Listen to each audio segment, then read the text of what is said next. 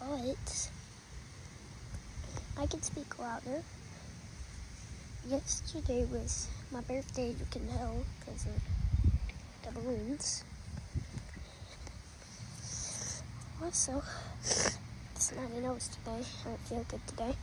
But um, I'm still a YouTuber. I could be a YouTuber anyways. There's pumpkin.